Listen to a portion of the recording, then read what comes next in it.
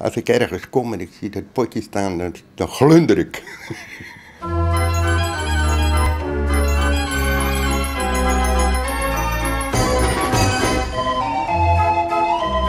Het meest trots ben ik als ik ehm, een winkel of een bedrijf binnenloop en ik zie mijn spullen daar staan. En ik zie de mensen van genieten. Ik denk dat ik daar het meeste trots op ben.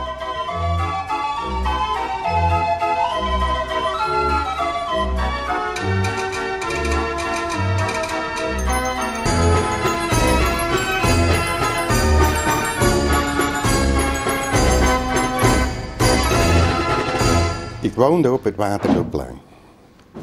En waar ik woonde, daarnaast was een klein inleggerijtje toen. En daar werkte mijn vader.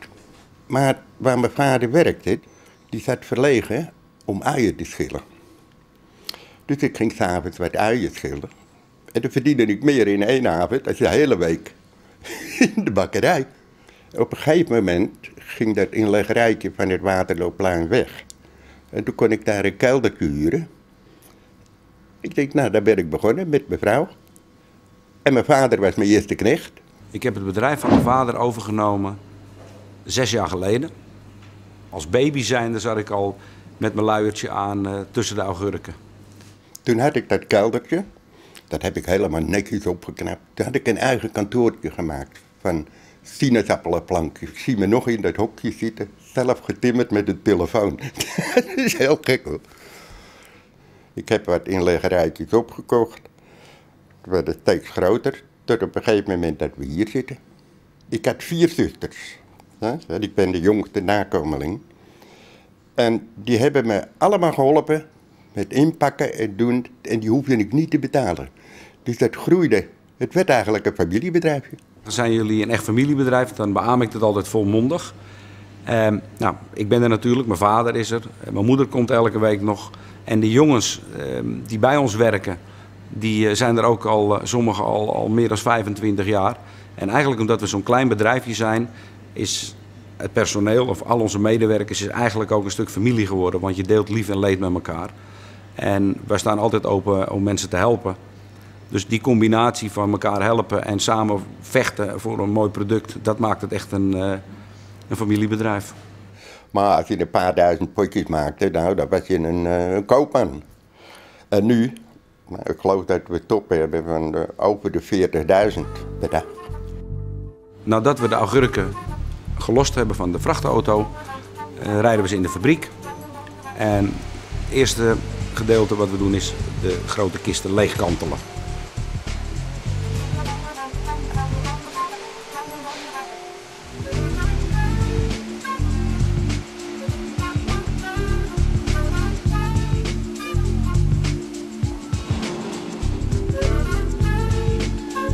Nadat ze leeggekanteld zijn, lopen ze automatisch in een wasmachine. Daar worden de augurken onder hoge druk met leidingwater gewassen. En na het wassen komen ze op een leesband. En tijdens het lezen proberen we de kromme, gebroken en slechte augurken eruit te halen. Zodat we alleen een uh, mooi product overhouden. En na het uitlezen worden ze getransporteerd naar de vulmachine.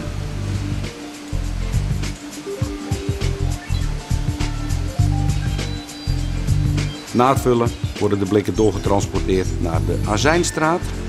Daar worden ze voorzien van opgiet, van de azijn. En lopen ze verder door naar de sluitmachine. Daar wordt een, een blik wordt dicht gevelst. Er wordt dus een metalen deksel op aangebracht. En nadat we ze gesloten hebben, lopen ze verder door naar de pasteurisatietunnel. In deze tunnel verhitten we het product en de watertemperatuur is dan plusminus 85 graden. Na het opwarmproces en het doden van de bacteriën wordt het product zo snel mogelijk afgekoeld en daarna wordt het weggezet in het magazijn. De kerstbeker onderscheidt zich voornamelijk, en dat proberen we dan in kwaliteit. We proberen zoveel mogelijk Hollandse grondstoffen te kopen. En ik denk dat het onderscheid is dat wij nog heel veel uh, handmatig verwerken. En aangezien wij de instelling hebben, alleen het beste is goed genoeg, Nadat we de augurken gewassen hebben en uitgesorteerd, want we hebben te maken met twee sorteringen, verplaatsen we ze naar de handlijn. En daar worden de potten ingepakt, de grote augurken onderin. En om ervoor te zorgen dat de augurken niet gaan drijven in de azijn, vullen we ze af met een paar kleintjes bovenop.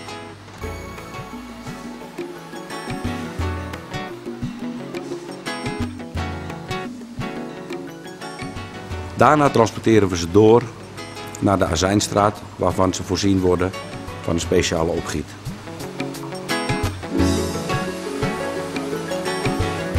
Ze, hebben wel eens me gevraagd van, ja maar het is toch maar een pot augurken. Nou dat vind ik niet. Ik zeg, net zoals een kok voor mensen kookt en daar heel trots op is, als de mensen het lekker vinden. Zo hebben wij hetzelfde als wij een pot agurken maken of een pot uitjes. En de mensen genieten ervan, dan genieten wij er ook van, want daar zijn we voor aan de gang. Je moet lekker, we willen gewoon lekkere, eerlijke spullen maken. Ik heb even een paar monstertjes gemaakt. Ik zou mij benieuwen wat je ervan vindt. Het, hetgene waar ik het meeste lol in heb, is productontwikkeling. Ik heb, ik heb laatst een uh, gemaakt voor uh, restaurant De Librei in Zwolle. Daar ben ik uh, vrij lang mee bezig geweest. En koken voor een topkok is heel moeilijk, want die hebben een heel specifiek smaakpatroon. En als het dan uiteindelijk gelukt is en, uh, en hij is helemaal lyrisch ervan, ja, dan, uh, dan ben ik helemaal gelukkig. Ik denk dat deze. Uh... Ja, lijkt me... Wat is dat voor kleur? Kan niet, bestaat niet. Alles kan. Je moet, je moet het willen. En soms moet je er heel lang naar zoeken. Maar als je echt wil, dan krijg je het dik voor elkaar. Maar ik denk dat hij qua smaak goed is, maar dat hij, dat hij veel te dik is. Bij deze glaslijn werkt het anders. Amsterdamse uien worden niet door de trommelwasmachine heen gehaald. Omdat wanneer we dat zouden doen, de uien compleet uit elkaar zouden vallen. We spoelen ze als het ware lekker af in ruim water. Tegelijkertijd eh, worden de potjes eh, gevuld met mosterdzaad. En nadat wij de uien gewassen hebben en de potjes gevuld zijn met mosterdzaad, eh, ontmoeten die elkaar in de vulmachine.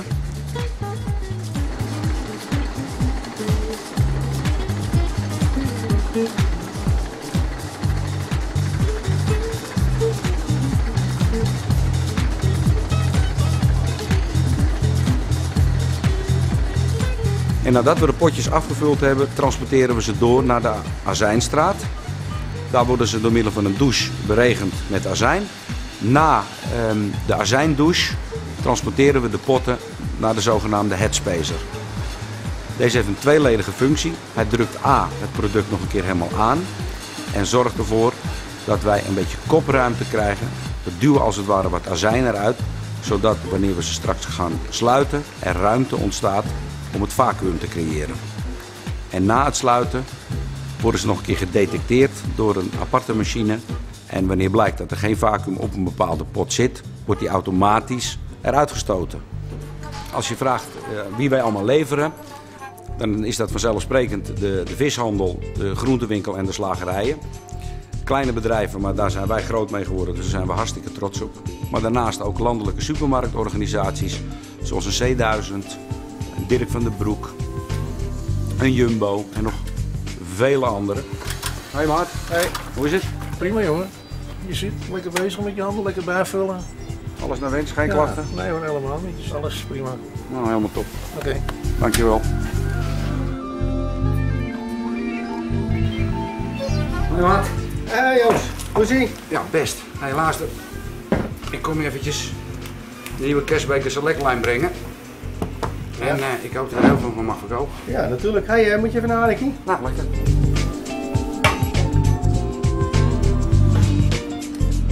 Kijk eens Joost, alsjeblieft. Oh, heerlijk. Uit kwaliteitsaspect etiketteren wij niet direct na productie. Het is zo dat wanneer je vol in productie bent, ehm, het absoluut onmogelijk is dat elk potje wat je produceert 100% is. En wij hebben ervoor gekozen om de potten, nadat ze opgeslagen zijn, nog een keer visueel te controleren voordat we ze daadwerkelijk uitleveren naar onze klanten.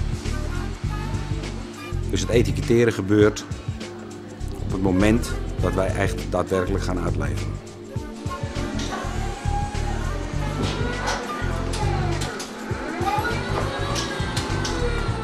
Als ik er doorheen loop, en zeker op zaterdag, dat er iemand is, nou, dan, dan vind ik dat heerlijk. Dan denk ik, god, dat heb toch wel wat voor elkaar gekregen. Natuurlijk, het is niet allemaal roze geur en maneschijn. Maar als je het op de keper bekijkt, denk ik dat wij eh, met z'n allen een heel fijn bedrijf hebben. Waar eh, heel veel gelachen wordt, ook wel eens gehuild. Maar de weegschaal slaat altijd om in het positieve. En ik denk die twee dingen, hè, mooi product maken en het met z'n allen doen, het samenwerken. Ik denk dat ik daar het meeste trots op ben.